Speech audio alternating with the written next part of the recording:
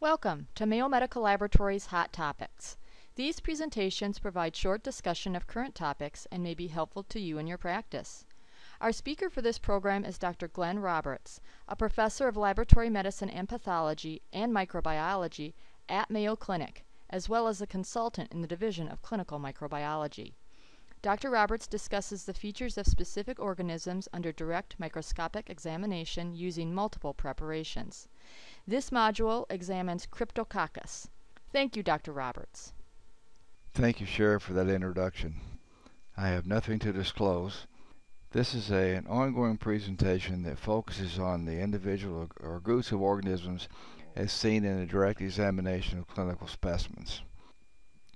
The next two slides show you the different methods that can be used for detecting these fungi in clinical specimens, and some of those are stains that may not be used for staining fungi, but they can be found there if one has uh, the ability to remember to look for fungi in those particular stains. The next slide just shows you a continuation of the methods that we can be used in clinical microbiology for seeing fungi.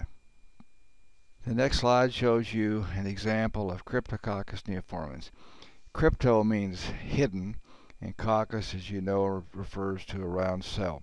When they first described Cryptococcus neoformans, they had never seen a thing like it because it was a round cell that was surrounded by what looked like a capsule. And so they called it crypto because it was a cell that was, a coccus that was hidden by a capsule. At that time, they had never seen a cell like that before, so they called it neoformans, which means new form. Cryptococcus neoformans has uh, a hallmark of producing cells that vary in size, anywhere from 2 to 15 microns, and with Cryptococcus gattii, the cells can be as large as 60 microns. The cells generally, as a rule, are nice and round, they're spherical. They may or may not have a capsule. The buds, if they're present, have narrow necks you may find pseudohyphae present with some of these uh, cells of Cryptococcus. So in this particular slide, you can see in the background the size variation is apparent, and that's a hallmark of identifying Cryptococcus neoformans along with the budding cells that are, have narrow necks on them. So the next slide is a phase contrast photomicrograph, and you can see a big, thick, thick gelatinous capsule around the perimeter of a central cell. The central cell is the yeast cell of Cryptococcus, and the other part is a polysaccharide capsule of Cryptococcus. The next slide shows you the very same thing. The capsule is around the perimeter, the central cell is round, and then there is a bud that appears to be pinched off and narrow-necked, and that's what you see with Cryptococcus neoformans. This is just a larger view showing you, next slide showing you essentially the same thing. Sometimes you see some granular material within the cell, but it's a narrow neck bud and the capsule, if it happens to be present, is, uh, is helpful. This is for white on the next slide, showing you that the cells vary in size. They, they show up very well in this fluorescent stain. This stain is a fluorescent brightener. It stains the chitin in the cell walls. It makes the cells fluoresce, uh, depending on the filter, either blue-white or yellow-green, as you can see here. And these cells vary in size. You can see the very large ones to the small ones. And on the lower right hand side about maybe 5 o'clock you notice there's a cell that is budding and has a pinched off bud present. The various in size of the cells and the narrow neck buds that are helpful to, identifying this organism. Next slide is for white showing you essentially the same thing. And in this case, it's hard to tell. This is Cryptococcus neoformans. You see on the, uh, about maybe 2 o'clock or 1.30 there's a collapsed cell, looks cup-shaped, and you notice some of the other cells just appear to be round, and some of them are a little bit larger than others, but you would have to look around on the whole slide to get a consensus of what is there. The next slide is an acid-fast stain, the Kinyoun acid-fast stains that we use for staining mycobacteria. This happens to be the counterstain methylene blue in the background that does not stain mycobacteria, but in this case it stained numerous cells of Cryptococcus neoformans, and they're primarily in the center. And you can see some there are about maybe six or seven cells in there. Uh, one has a chain of like three of them sitting together. And if you didn't think about microbiology in general, you you would miss those cells. And so in this case, you have to look around a bit more and decide if it's going to be Cryptococcus or what it's going to be. But if you look at the cells, top two cells in that cluster on the right-hand side, you notice that around those cells there is something that appears to be kind of feathery around their perimeter. And that's a polysaccharide capsule of Cryptococcus neoformans. It's around actually around all those cells. It looks kind of feathery around the outside. This next slide is showing the same thing except that these appear to be the beginning of a pseudohyphal strand. And certainly with Cryptococcus you can see that. There are some other cells in there about 6 o'clock and about maybe 5 o'clock where you can see round cells of Cryptococcus neoformans that have this capsule and it looks almost like there are projections sticking out from the sides of that's just a capsule where it's constricted away from the space. This is what Cryptococcus neoformans can look like. Now this particular slide is a PAS stain slide and all the cells of Cryptococcus neoformans here are about the same size, probably right around 2 microns. You notice there's a clear space around the outside of the E cell. That's the capsule. Here you would certainly have to think about Cryptococcus neoformans.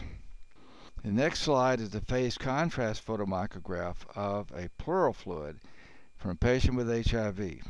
The patient had a pneumonia and a lot of pleural effusion they actually removed some of the effusion, looked at it underneath the microscope, and what we see are all these cells in there, and the, the larger part of the cell is the capsule, and the central cell, the central part that's round, is the cell of the yeast of Cryptococcus neoformans. Same thing here. And then the next one, you can see what looks like a germ tube, and the one at the top coming out of this, this cell. And that you do see that with Cryptococcus neoformans. Here you see about maybe 5 o'clock, you see the very same thing. You see a germ tube coming out of there. And the other cells are pretty much uh, single cells with a capsule around them. This is a Wright stain from a bone marrow. And it's not uncommon to find Cryptococcus neoformans in bone marrow or in blood, other body fluids where there's disseminated disease. And here you see in the center, you see cells that vary in size is a very large one. The lower cell is very large compared to the other, about twice the size of the other two. But you need to move around, and look at the, all the fields to see what's out there, but just instead of just looking at this one field. But these cells are nice and round. Here's another bone marrow, and you can see the cells that uh, have a space around the outside, and they're pretty much in the center. You can see the cells are the darkly stained ones, and there's a space around the outside. Notice that the cells do not touch each other and the reason for that is that the capsule separates them.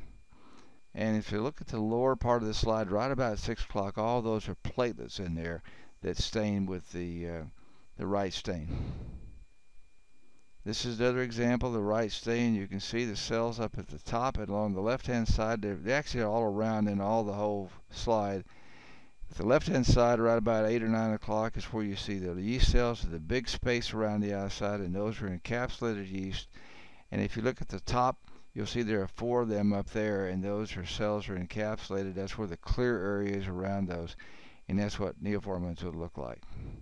And just the next slide is just the same thing. You can see the bud though on those two in the center where it looks pinched off. This is a hallmark of Cryptococcus. It's the capsule around the outside if it's there. It may not always be there. And then that narrow neck bud. The next slide shows you essentially the same thing without the, the narrow neck buds in it. You see some cells that are uh, surrounded by a clear space a little bit, and that's what Cryptococcus would look like. They're the only place you see them on this slide is in the center.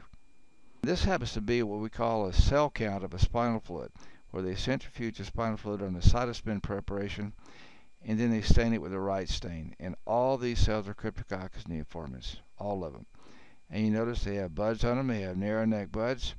Some of the cells are larger than others, and when you see that hallmark, those are two hallmark features of Cryptococcus. This is a gram stain.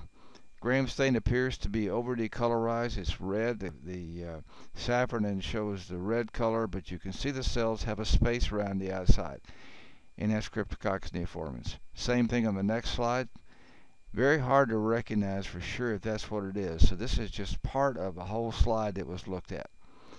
The next slide shows you a, a uh, gram stain showing you that it's been overstained with the uh, crystal violet. And there's a cell in there somewhere you can't even see it actually. On the left hand side and the right hand side you can see two cells. But all the capsular material is stained with the crystal violet and it's overstained.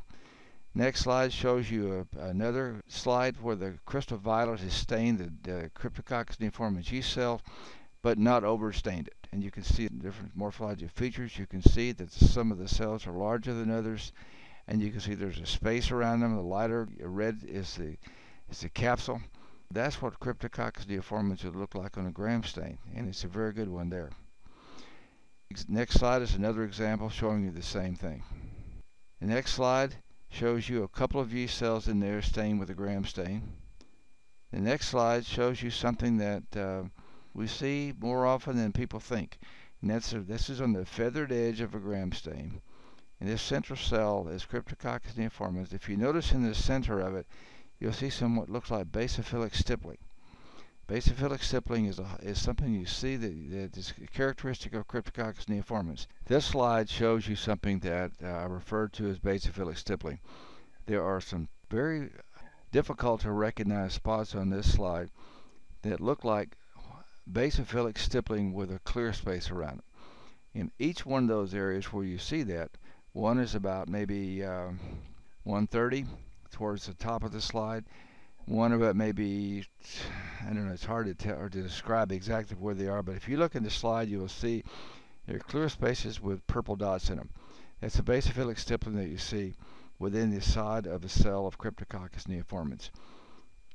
The next slide shows you this even better. Look at the clear space with all the dots in there. And that is something that you see that more often than, than uh, people recognize, you simply have to look for it. And when you ask people that have ever seen it before, Oftentimes they'll say, yeah, but I didn't know what it was. Well, it's Cryptococcus neoformans exhibiting basophilic stippling within a cell that did not stain. So you see the purple dots within the unstained cell.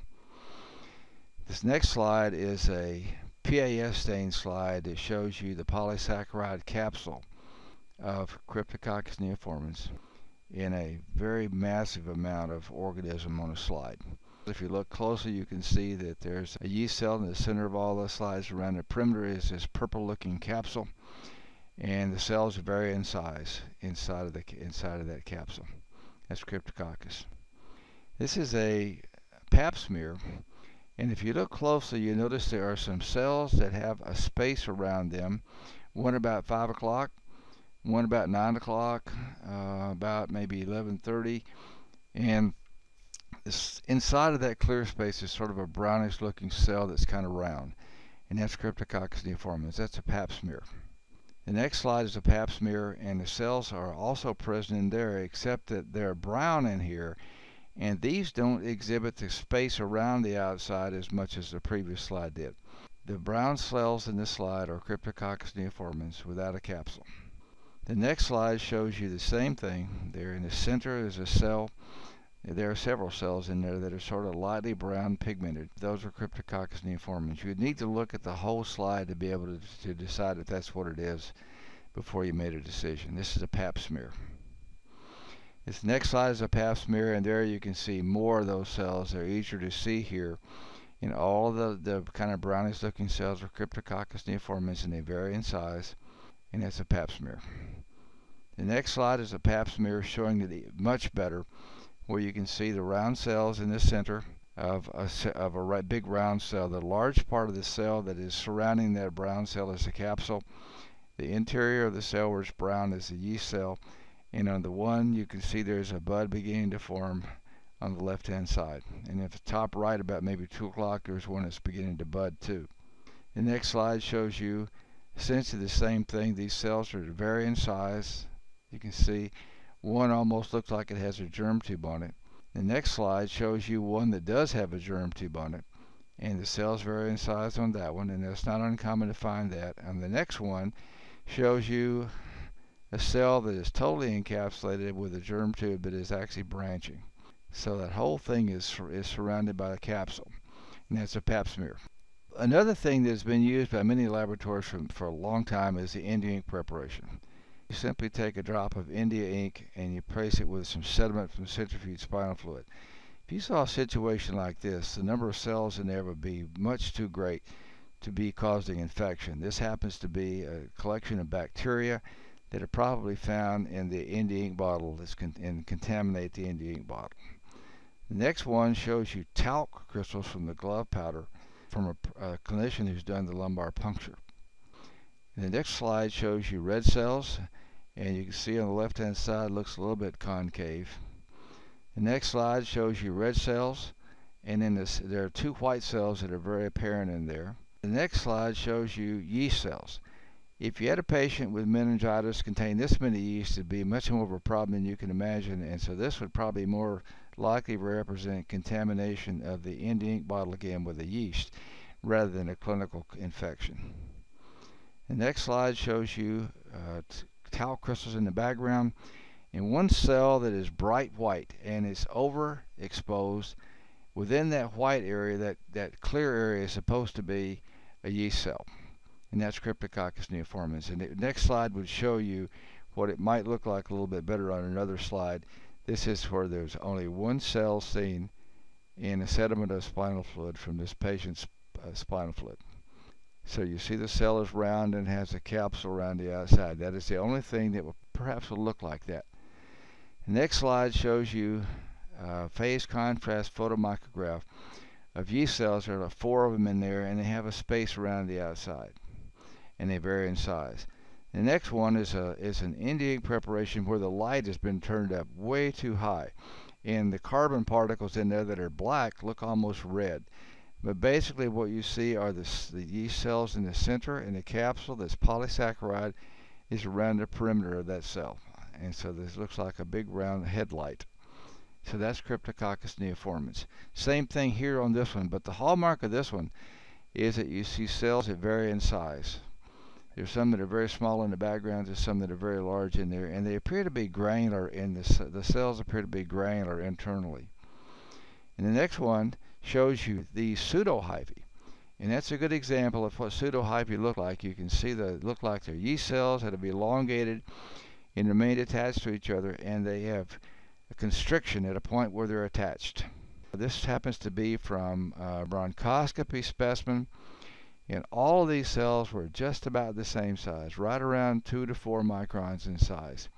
Not all that usual to see one with this uh, consistency and size, but this is nevertheless a case that we saw a few years ago that uh, shows that cells are small, probably around 2 microns, and they have that capsule around the outside. This is just another field over. The next slide showing the very same thing. So that's Cryptococcus neoformans. This is a uh, H&E stained slide from a bone marrow, and in the very center you see one cell that's sitting there with a capsule around the outside of it, and the cells in the center, and that's Cryptococcus. This is another one H&E stained slide, and you can see many cells of Cryptococcus neoformans in there. Some of them are round, some of them are football shaped and occasionally they appear to be football shaped whenever they start to collapse. Next slide shows you uh, an H&E and you can see that there are several that are football shaped in here. The next slide shows you an, an H&E showing you some collections of these cells and notice that they vary in size and they're not all necessarily so round. Uh, so they're supposed to be nice and spherical but they don't always have to appear that way but it's a variation in size that you see and a space around the outside of them. You notice and in some of those are they don't the cells do not touch each other and the reason for that is again is because the capsule is present. The next slide you can see a better view of that. You can see that none of the cells are touching each other because of that capsule keeps them separated. Next one uh, shows you a, a touch prep from the lung and if you happen to look at the cells in there, look you can see some in the background that are extremely small to some that are very large and that's what the hallmark is. You don't have to look any further once you see the variation in size like that. You think of Cryptococcus neoformans. The next slide shows you uh, one that is not so clear, but it shows you the very same thing. Variation in size of cells, and notice that none of them touch. Next slide shows you a long piece of pseudohyphae in there, and the yeast cells of Cryptococcus in the background. This is a discussion of Cryptococcus neoformans and showing you lots of slides there with the different morphologic features of Cryptococcus and a lot of variation upon those features to give you an idea that they don't all look the same.